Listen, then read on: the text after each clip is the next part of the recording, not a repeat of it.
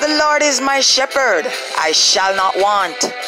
Greetings and welcome, people of God. You're inside the shift. I'm your girl Aldeen. It's Testimony Tuesday. Right now, we've got Ada, Ada Ehi, declaring that only Jesus can do the things that no other power can do. Mighty God.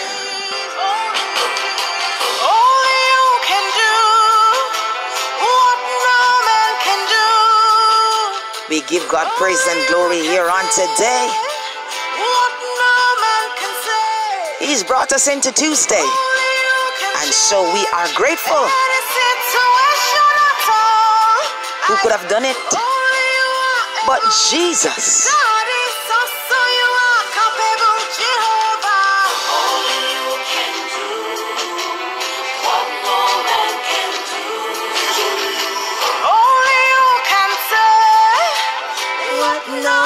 Situation at all.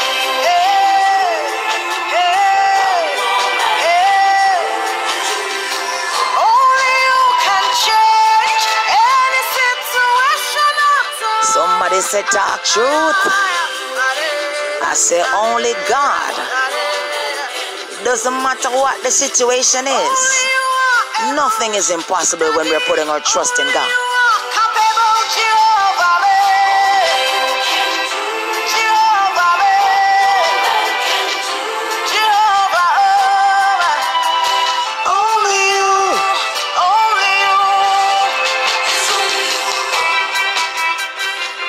Inside the shift. I'm your girl Aldeen. You know how we do it on a Tuesday. We've come with stories to tell. Lifting up the King of Kings and Lord of Lords. Just like you walk the streets of Galilee, You are doing the same today. and like you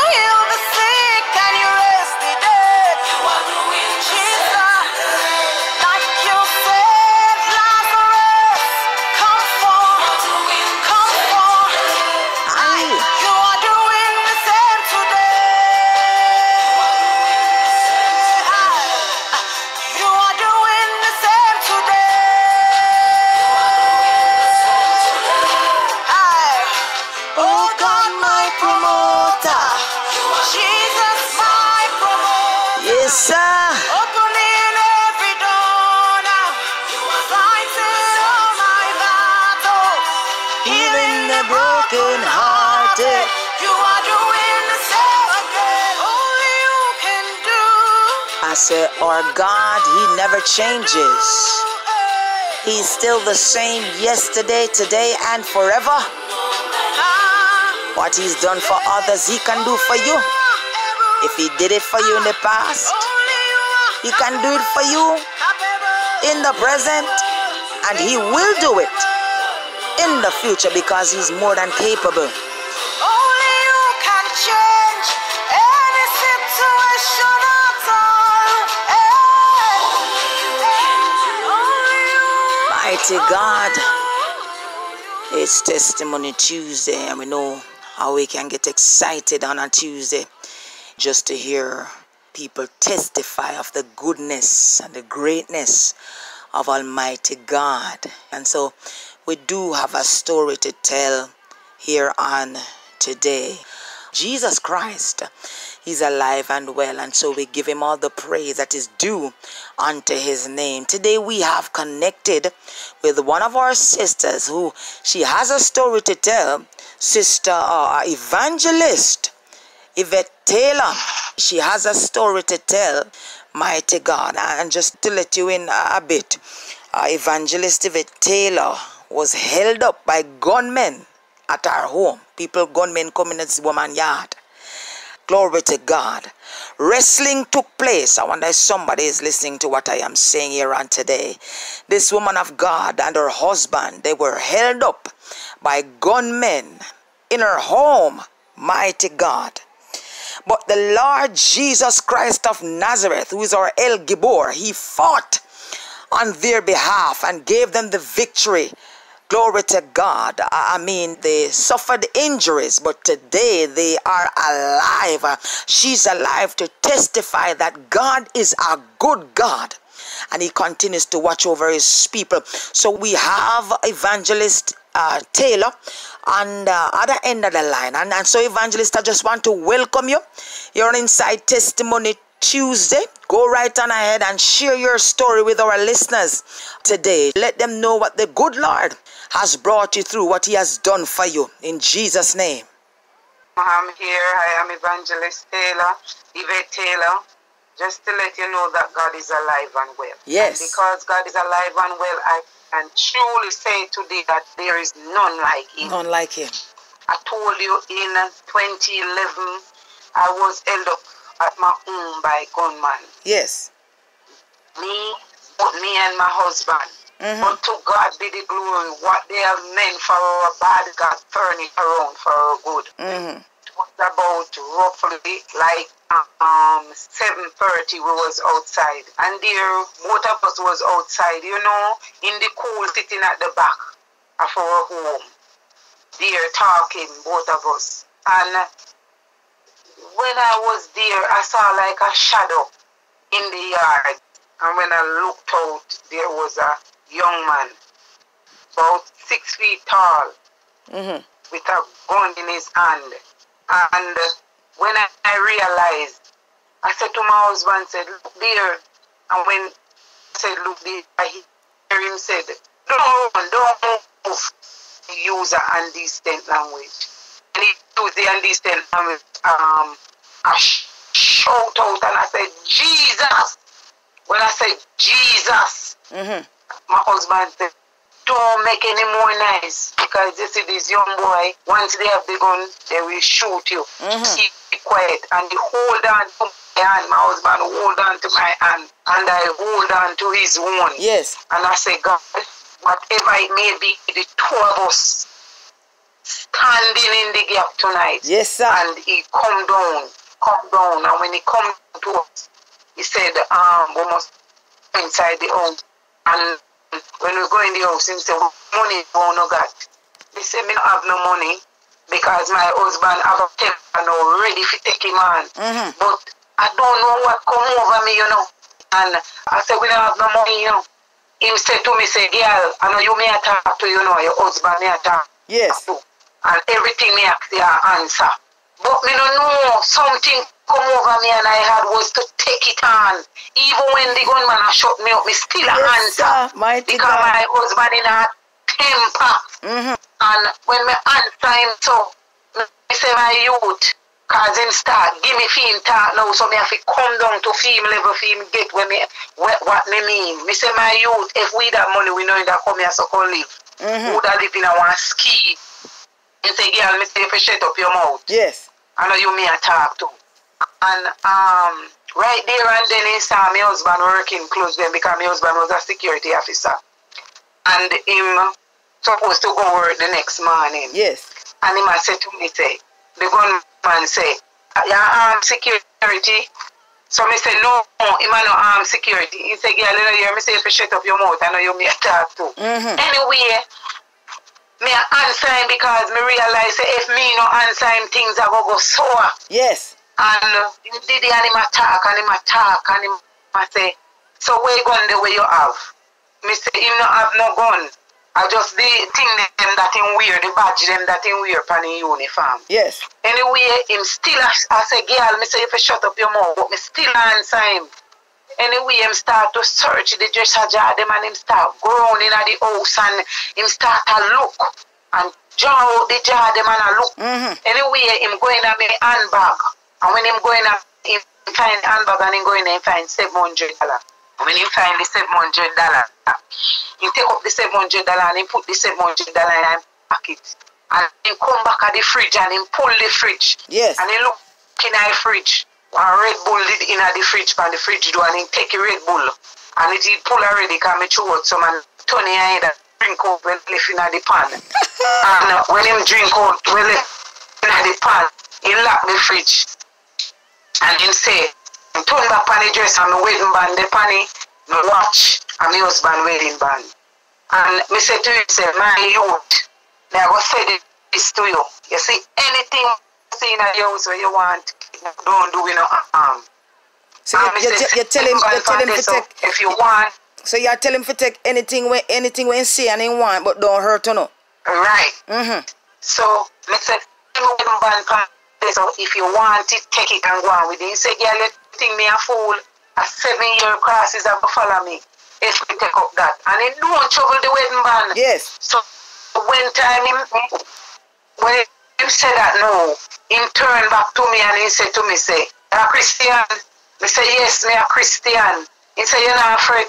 Me say, No, me not afraid. Mighty But God. me sit down there and me talk to God in my mind and me say, God, time for you make this boy left me place. See him, so me say in my mind. Mhm. And when me say it in my mind, you know, because me can't talk out, but me a talk to God in my mind, you know. Glory to God. I hear him say, a time for me left this place. Mhm. I see him like oh, him a go through the door.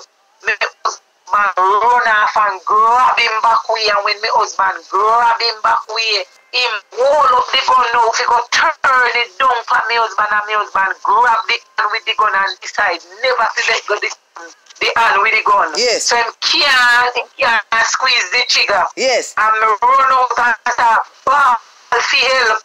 But my husband was an asthmatic and the asthmatic him.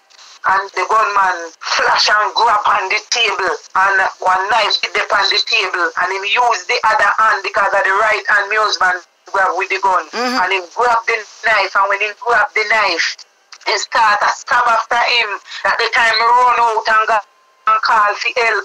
And So, when my husband, so there when he, So, when, when, so when hold on there, evangelist. Hold because you said the husband holding the, the hand with the gun and the and the brother Yeah. use the next hand for hold on for a knife. The, the, Yes, so, so, what, the so, so what happened to the gun that time? My husband hold the hand with the gun, but him nah let go the gun. Eh. He nah let go the gun. And him and my husband wrestle, wrestle so till him come out through the door. Yes. And when him come out through the door, now, my fight can realize that the crowd are going to come down on him now. And them are going to find out who him be or maybe him are losing life. Mhm. And him stab me husband with the knife in him foot and, and cut the artery in him foot. And when he stab him in him foot now, he stab after him to his neck, but the knife never reach in the neck, in the throat part. He reach on the chest that's so where the bone there, right in the part in your neck there. So, and him only a fear shake some wild stuff, because remember, under the right hand, him a use stab after him, you know, the left hand. Mhm. And he was to hold the head hand, but the boy frisky. And when my husband hold it, hold the hand, he stab after my husband, he lodge above his ears. And then I run through the top of his ears. There, so, go down through the drum there, so. And when it go through the drum, it go through the skin and lodge straight in his jawbone. In stabbing, in stabbing at the top of his ears, and it got in yes, a, and it bore. it, through the opening Yes, of his it ears, and it come out through his jaw. Yes. Mighty God. Yes, right through the jaw. So when me run go call help and come back now, when me come me see the knife angle above me husband, he is this on head. And Yes. him a say, and he to me say, don't struggle it because it gone through me flesh. And when me look at jawbone, the knife blade, the under the skin, cause it go down and come, go through the skin. So Yes. we couldn't trouble it, we couldn't take it out, so now we call one taxi. And the taxi come and we carry him to hospital and they have to carry him go a theatre. We take out the knife out and head. But you have said- do surgery if you get out the knife. But you said something happened to you too while you were running for help. So so tell us what you said happened. So when me when me run out now to call, I, was to jump a fence. And when I jumped the fence, I realized that the wire, the bag wire, split my breast. That's you could have see the white Mhm. through it until now me have the mark there. So you scars. And uh, yes, that is a scar that I will never forget. Each time that I look down on my breast, I remember everything about what happened Mighty that night God. and uh, went to the hospital with him. And they did the surgery to took the knife from his head. Mm-hmm. And the other day when, when I went by the hospital, he was swelled from his head straight to his foot. You, you him swell up? Yes, I never know that my husband would have made it. So what what, what, what, what causes swelling? What them say causes swelling? because he had he had bleed a lot of blood and the artery in his foot was cut and there was a lot of stab wound on him. Oh. Yes. And he was in terrible pain. So, so hold on, no, no. And- what happened to the wounds that you had from the barbed wire? Cause you say your barbed wire got your, your breast, it, it slit your breast, you know. So what? How, how Yes. those were treated at hospital as well? Yes, I was treated too. I was treated too and sent home. Okay. Got medication, got medication and sent home. Stitches and stuff. No, I never, I never get any stitches. Oh. I never get any stitches. And I was sent home on medication, but my husband was admitted in the hospital Mhm. because he was damaged very badly. Yes. Almost, almost lose his foot. Mighty God. he had was to go through two surgery, two surgery because when he leave from May Pen Hospital, they had was to admit him back at Chest Hospital to do another surgery. Okay. Yes, they had was to admit him at Chest to get some skin from his bottom to patch out that cut there because they had was to slit the foot and Yes. take out those dead flesh from it. And I, I was to go back and forth in all of that. Mhm. I've been through so much pain and sleepless night and aftershock. Glory to God. At one point, when my husband came home from hospital, it's like I say, God, why you allow me to go through all of this? I just lately got married, and I think it would be smooth, but it was so rough. Mighty God. And right there and then, right there and then, my sister, after that, when my husband did the last surgery, Mhm. I remember he was saying to the doctor, Doc, I feel like I am not a man anymore. I'm wondering if I'm going to get a child. And the, the doctor said to him, say, yes, it is going to happen because what, you're pretty young. And um, the rest that you get and the care that you get when you're in the hospital, everything gonna fall in place. Yes. And after after that, let us tell you, when he came home back from the last surgery, and he had was to travel back and forth, right there and then it, it don't run off a month. I get pregnant Mhm. with my daughter. First child for him. First child for him. And I remember one day now when he was from the hospital and at home. I'm the only one that working. I am the breadwinner now for the family because my husband dear sitting down cannot move his foot. Oh God. And I had was to take on everything in spite of that. And I remember one day he said to me, say, um, all of my life I saw me I go sit down here so and me say, no, you know, God now give me one husband when me sit down and look and God I go heal your foot. And Yes. he said to me, say, but see, that not even me big toe now move. That was what he said. And believe you me, my sister, my faith that I had. Glory I to say, God. God, me know me come to you for my husband and you now give me a husband to sit down and look on in a chair. You go and heal that foot and him a go walk and Yes, he sir. love play football and me say, you go play football again with that foot. In the name of and Jesus. my sister, I had a buckle of consecrated valley vial and I start pray for the foot and I start night the foot. And when I start night the foot, I remember him say, Sandra, me big to a move. In the And me name of say, Yes, Jesus. that's the beginning of it. Yes, yes. He said, me big to move, me I go move it again. And when I look at it, me say, move it, make me see. And he move the big toe. Thank and when you, he Lord. move the big toe, me say, yes, this is the start point tonight. And I never stop night that foot and pray it with consecrated valley vial. So and the- so till him start go ball ground, go play ball again. Mighty yes. God. So you're telling me now that today things are back to normal. He's walking around again and stuff like that. Yes. Mighty He's God. walking around with that foot. He's driving with that foot. He's playing football with that foot. I'm saying this for somebody out there in radio land. You can take something from my experience to add to what you are going through. It not might similar as mine, but let me tell you, if you just hold on to the man Jesus, he will fix it. Will and fix it. what the enemy had meant for your bad, God will turn it will around. turn it around for your good. Jesus' So you name. just continue to trust in the Lord and to hold on to his unchanging hand. He is the man with the plan. Yes, to sir. God be the glory. Great things he has done. Glory to God. Glory to God. Hallelujah. Thank you, Jesus. Bless the You name of been good. Jesus. Amen and amen. Amen. Yes, people of God, there we have it. Evangelist Yvette Taylor sharing her testimony of how the Lord came through for her.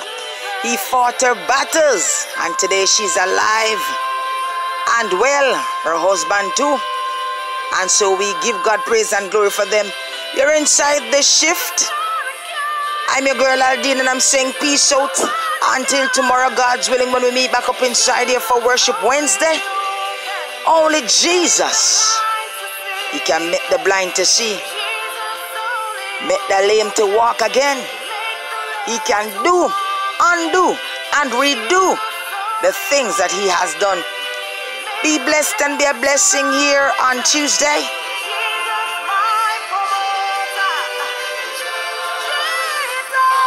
Somebody call Him by His name.